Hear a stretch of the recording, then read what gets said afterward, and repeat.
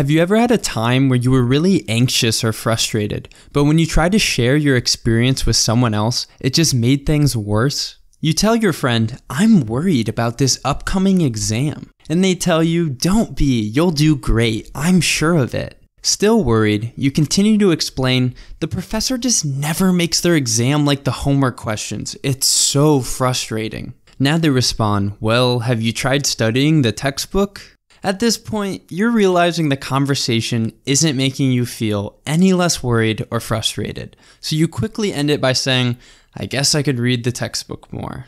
Why do these instances often leave us feeling worse? After all, our friend was just trying to help. The truth is, the responses didn't help because at the moment, we weren't looking for reassurance or advice. So, what were we looking for? Being listened to and heard is one of the greatest desires of the human heart, and those who learn to listen are the most loved and respected.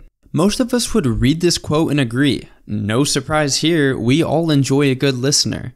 But if you look at the words more closely, we can notice that there is an important distinction being made.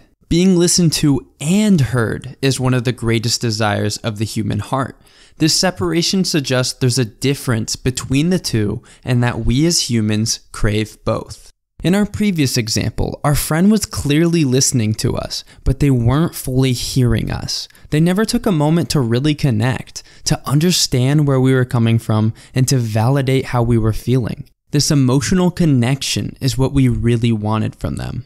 So that begs the question how do you show someone that you really hear them? The truly good listeners of the world do more than just listen. They listen, seek to understand, and then validate. That third point, validation, is the magic ingredient to developing healthy and satisfying relationships. Validation is to show interest in and affirm the worth of another person's comments, requests, or emotions. Effective validation has two components. One, it identifies a specific emotion, and two, it offers justification for feeling that emotion. Here's some example responses. Wow, that would be confusing. He really said that? I'd be angry too. You have every right to be proud. That was a major accomplishment. I don't blame you. This is a hard class. Notice how in each response, you show the other person that you both recognize the emotion they're feeling and offer some justification for the acceptance of it. Put simply, you understand where they're coming from. In this way, validation becomes a versatile tool.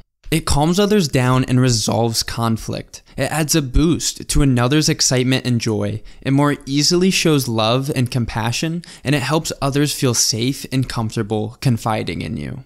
So, what makes it the best initial response? The most common mistake that people make is not recognizing when someone is looking for validation. And for good reason. Most people don't come out directly asking for it. We mistakenly offer them reassurance or advice because that's what we thought they might be looking for, but it rarely will help them. Think about this. Let's say you're talking to a friend who's been feeling insecure about their looks. After a long day, they sigh and say, I'm never gonna get a guy to date me. Most people's first reaction would be to immediately shoot down this comment, insist it's not true, and proceed to try to build their friend back up with praise and encouragement. But let's be real for a second. If you immediately respond with that's not true, will it really make her feel any better? Will she have a stroke of insight and say, oh yeah, I guess you're right, thanks, and then go on happily with her day? Not likely. A better approach would start with some curiosity and listening. What? Why do you say that? She says, I just see all these beautiful women everywhere, and I'm nowhere near as pretty. And then you validate. There's a lot of beautiful women here. It's hard to not compare yourself to others. She says, Yeah, it sucks. You ask another question Why do you feel like you're not as beautiful? If you continue the conversation in this ask, listen, and validate fashion, you're much more likely to help your friend work through their emotions, uncover the root causes, and actually make them feel a little better. The problem with offering immediate reassurance is that it's just another form of judgment. When we tell people they should or shouldn't feel something, we risk making the situation worse. It's very difficult for someone to work through issues when they're blinded by strong emotions. These difficult emotions get stronger and more intimidating when fought or suppressed. So when you validate other people, you're actually helping them see and accept their emotions for what they are just feelings, neither good or bad, making it significantly easier for them to process them and break free. We often make a similar mistake by offering others unsolicited advice. One of the worst feelings in the world is to open up to someone and immediately get hit in the face with suggestions and solutions, when all you were really looking for was a little validation.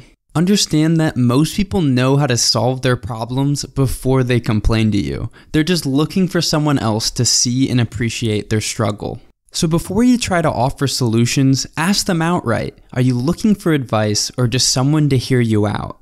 Even if they are open to your suggestions, you'll still need to listen to them first. After all, a doctor doesn't prescribe medicine before diagnosing the issue. After they feel understood, they'll be much more receptive to the feedback that you end up giving them. More often than not, people start conversations just to feel some genuine connection for however momentarily. Through curiosity, empathetic listening, and validation, we usually can provide someone exactly what they were looking for, developing extraordinary relationships in every step of the way. Sorensen has developed a four step approach to giving validation and feedback in nearly any situation. In practice, you can go through these steps in less than a minute for most interactions. If you're interested in an in depth video on these steps, please let me know in the comment section below and consider subscribing.